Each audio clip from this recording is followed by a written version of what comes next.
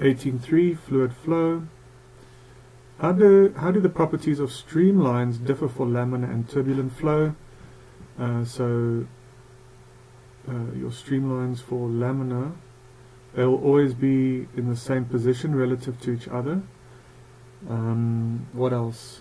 They maintain their shape and their relative positions, whereas turbulent flow will become chaotic, right? Okay, so they're more chaotic, they, they change uh, erratically. 11. What is viscosity? It measures, it's a property that measures the fluid's resistance to shear stress. Okay, uh, fluids with high viscosity uh, don't flow easily, even when they're experiencing um, uh, shear stress. Okay, non-viscous fluids have low or zero velocity and they flow easily. So, I think we spoke a bit about viscous fluids earlier.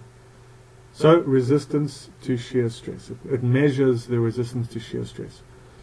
What factors determine whether the flow of fluid past an object is laminar or turbulent? Okay, the textbook speaks about three of them. Uh, one is the speed, flow speed.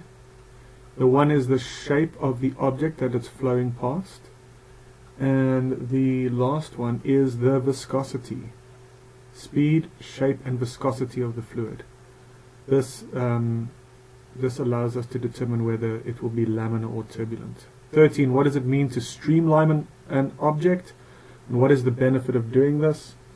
It means that you change the shape of the object so that uh, it maintains its streamlines around it. Okay? Um, why do we want to do that? Because it minimizes energy dissipation. Minimizes energy dissipation. Okay. 15. Wait, no, 14. What does it tell you if the streamlines for a fluid in laminar flow are closer together, whoops, in one part of the flow and farther apart in another part of the flow?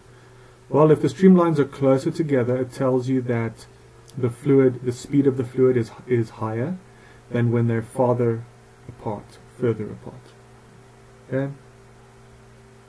Um, speed is greater when they're closer together. 15. What is the connection between flow speed and pressure in a moving fluid when the flow is laminar? Well, the pressure is lower when the speed is higher, and the pressure is higher when the flow speed is lower. Okay? See you in the next one.